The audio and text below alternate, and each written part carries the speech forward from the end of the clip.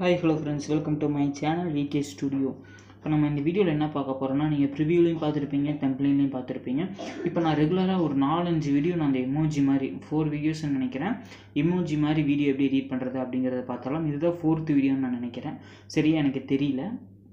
அந்த நாலு வீடியோ அதை இதோட சேர்த்து இதை சேர்த்தாம பழைய மூணு வீடியோ நீங்கள் என்ன பார்க்கலனா கீழே டிஸ்கிரிப்ஷனில் கொடுக்குறேன். அதில் போய் நீங்கள் பாருங்கள் அதை எப்படி எடிட் பண்ணுறது அப்படிங்கிறத. இப்போ வந்து இந்த வீடியோ எப்படி எடிட் பண்ணுறது அப்படிங்கிறத இப்போ நம்ம இந்த வீடியோ ஃபுல்லாக பார்க்கலாம். இதுக்கு வந்து நான் எதுவுமே யூஸ் பண்ணல. இதில் வந்து ஒரே ஒரு டெக்ஸ்ட் சாங் ரிலீக்ஸ் வச்சு தான் எடிட் பண்ணுறேன் வேறு எதுவுமே யூஸ் பண்ணல. இதுக்கு எந்த மெட்டீரியலுமே தேவையில்லை.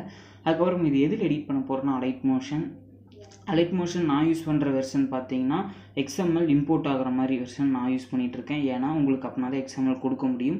அதனால் எக்ஸ்எம்எல் வந்து நீங்களும் நான் கொடுக்குறது இம்போர்ட் பண்ணும் அப்படின்னு நினச்சிங்கன்னா three point four point one version use பண்ணுங்கள் அப்படி உங்ககிட்ட கே கேட்டு தேடி கிடைக்கலனா என்னோட டெலிகிராம் குரூப்புக்கு வந்து கேளுங்க. நான் கண்டிப்பாக தரேன். கொஞ்சம் டிலே ஆகும் ஆனால் கண்டிப்பாக இருக்கும். அப்படி உங்களுக்கு அர்ஜென்ட்டாக வேணும்னா டிஸ்கிரிப்ஷனில் லிங்க் இருக்குது நீங்கள் போய் எடுத்துக்கோங்க. அதை three point four point one version நீங்கள் வந்து டவுன்லோட் பண்ணி எக்ஸ்எம்எல் இம்போர்ட் பண்ணிடலாம் இப்போ வந்து நம்ம வீடியோ எப்படி எடிட் பண்ணுறது அப்படிங்கிறதுக்குள்ளே போகலாம் இப்போ வந்து நீங்கள் நார்மலாக எப்பயும் போல் அலைட் மோஷன் ஓப்பன் பண்ணிக்கோங்க. அலைட் மோஷன் ஓப்பன் பண்ணிவிட்டு கீழே இருக்கிற ப்ளஸ் சிம்பிள் கொடுத்து உங்களுக்கு தேவையான ரேஷியோ செலக்ட் பண்ணிவிட்டு resolution frame rate background colour இதெல்லாம் சூஸ் பண்ணிவிட்டு க்ரியேட் ப்ராஜெக்ட் அப்படின்னு சொல்லி கொடுத்துருங்க. கொடுத்து முடிச்சதுக்கப்புறம் கீழே இருக்கிற ப்ளஸ் சிம்பிள் கொடுத்து ஆடியோக்குள்ளே போயிட்டு நீங்கள் எடிட் பண்ண போகிற ஆடியோ ஃபஸ்ட்டு நீங்கள் ஆட் பண்ணிக்கோங்க.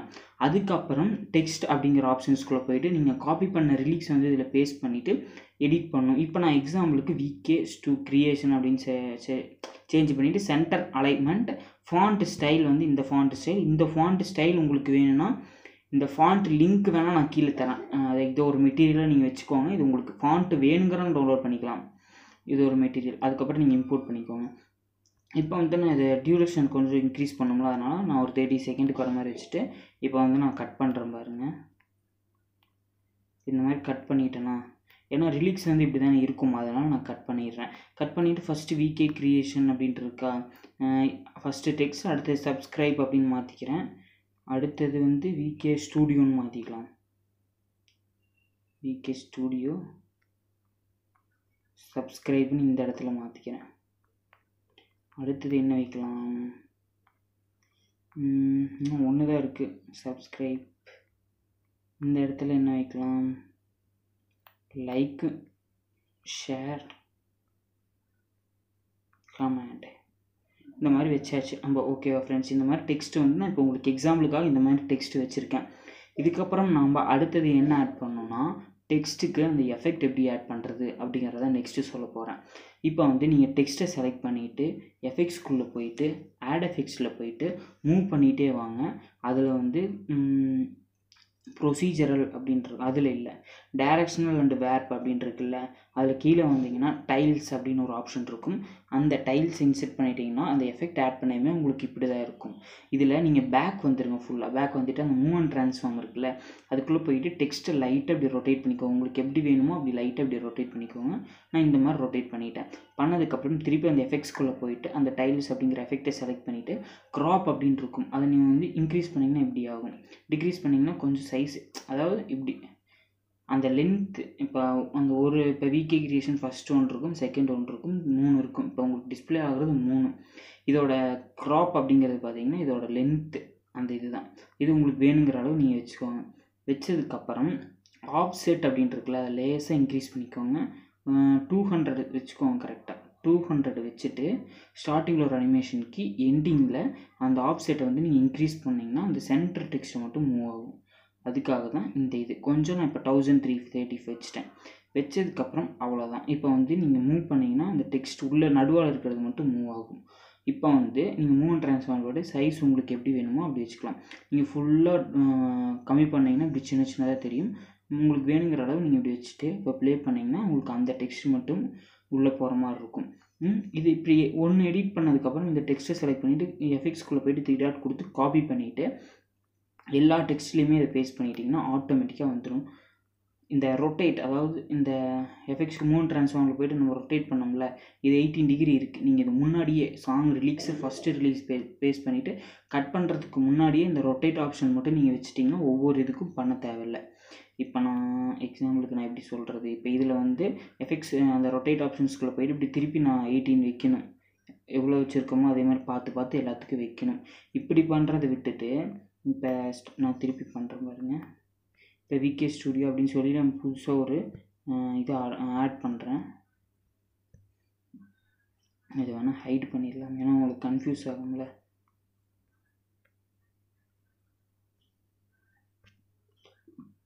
ஒரு நிமிஷம். இப்போ வந்து நான் இது எல்லாத்தையும் ஹைடு பண்ணிட்டேன்.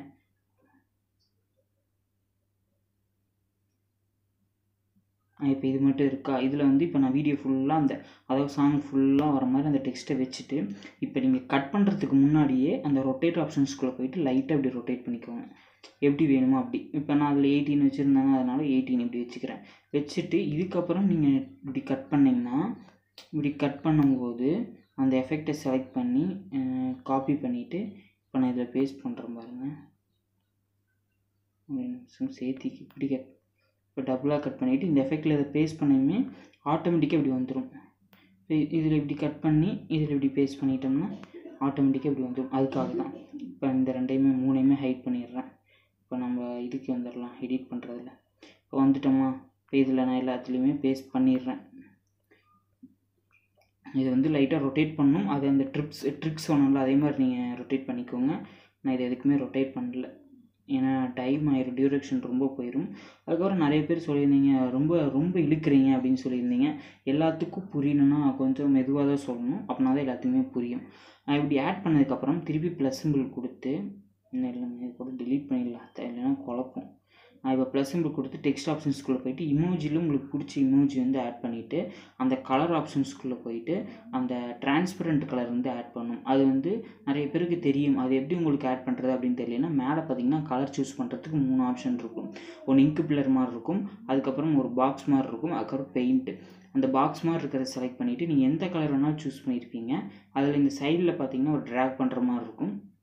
அதை எண்டிங்கில் கொண்டு வந்து வச்சிட்டிங்கன்னா டிரான்ஸ்பரண்ட் வந்துடும் இப்படி வச்சுக்கோங்க. வச்சதுக்கப்புறம் சென்டர் அலைன்மெண்ட் வச்சுட்டு எயிட்டீன் பிடி அப்படின்றத இங்கேயே ஃபுல்லாக இன்க்ரீஸ் பண்ணிக்கோங்க. ஏன்னா நம்ம மூணு ட்ரான்ஸ்ஃபார்ம் இன்க்ரீஸ் பண்ணும்போது அந்த எமோஜி வந்து ஹைட் ஆகும். இப்போ பாருங்கள் நான் ஃபுல்லாக சைஸ் இன்க்ரீஸ் பண்ணாமல் ஹைட் ஆயிரும். ஏன்னா குறிப்பிட்ட அளவு தான் எமோஜி வந்து இதில் வரும். அதனால் நீங்கள் அதில் இன்க்ரீஸ் பண்ணிக்கோங்க. பிடி அப்படின்றதுல அதில் இன்க்ரீஸ் பண்ணிக்கோங்க. இப்போ இந்த எமோஜி வீடியோ ஃபுல்லாக வர மாதிரி வச்சுட்டேன். இப்போ ஃபஸ்ட்டு ரிலீக்ஸ் முடியுதில்ல அந்த இடத்துல வச்சு இந்த எமோஜி மேலே இப்படி கட் பண்ணிக்கோங்க. இப்போ நான் கட் பண்ணுறல அதே மாதிரி மேலே இருக்கிறது இப்படி கட் பண்ணிக்கோங்க. கட் பண்ணிவிட்டு இதில் வந்து இமோஜியில் நம்ம என்ன எஃபெக்ட் ஆட் பண்ணியிருக்கோம்னா நான் வந்து அதை ஷேக் பேக்கில் இருந்ததை எடுத்து காப்பி அதாவது பேஸ்ட் பண்ணியிருக்கேன்.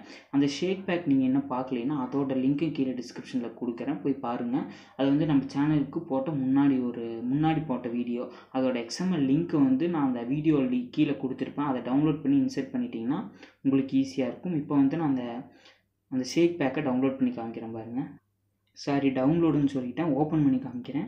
இப்போ இதுதான் நான் கொடுத்துருக்குற ஷேக் பேக்கு இப்போ இதில் உங்களுக்கு பிடிச்ச இமேஜ் செலக்ட் அதாவது அந்த இதை செலக்ட் பண்ணிவிட்டு எஃபெக்ட்ஸ்குள்ளே போயிட்டு த்ரீ டாட் கொடுத்து காப்பின்னு கொடுத்துட்டு அதுக்கப்புறம் இப்போ எடிட் பண்ணிட்டு இருக்கிற ப்ராஜெக்ட்டுக்கு வாங்க. எடிட் பண்ணிட்டு இருக்கிற ப்ராஜெக்ட் வந்ததுக்கப்புறம் அந்த எமோஜியில் வந்து இந்த இதை வந்து பேஸ்ட் பண்ணிக்கோங்க. பேஸ்ட் பண்ணிவிட்டு இப்போ அடுத்த இமோஜியில் நான் மாற்றிடுறேன் பாருங்கள் இது வச்சிடுறேன். இப்போ பாருங்கள் உங்களுக்கு அந்த இமோஜியோட இது வந்துடும் அந்த இமோஜிலையும் செகண்ட் எல்லா இமோஜிலையும் இந்த எஃபெக்ட்டை பேஸ் பண்ணிவிட்டு பாருங்கள் நல்லாயிருக்கும் பார்க்குறதுக்கு இப்படி தான் நான் அந்த வீடியோ எடிட் பண்ணியிருக்கேன். ஓகே ஃப்ரெண்ட்ஸ் இந்த வீடியோ பிடிச்சிருந்தா மறக்காமல் லைக் பண்ணுங்கள் உங்கள் ஃப்ரெண்ட்ஸ்க்கு ஷேர் பண்ணுங்கள் நம்ம சேனலை சப்ஸ்கிரைப் பண்ணால் சப்ஸ்கிரைப் பண்ணிவிட்டு கூட பெல்லைக்கான கிளிக் பண்ணிக்கோங்க. அப்போனா நான் போடுற அடுத்த வீடியோ உங்களுக்கு உடனே நோட்டிஃபிகேஷனாக வரும். நீங்கள் வீடியோ தொடர்ந்து ஸ்கிப் பண்ணாமல் பார்க்க முடியும். தேங்க்யூ ஃப்ரெண்ட்ஸ் மறக்காமல் இந்த வீடியோ எப்படி இருக்குது அப்படிங்கிறத கமெண்ட் பண்ணுங்கள்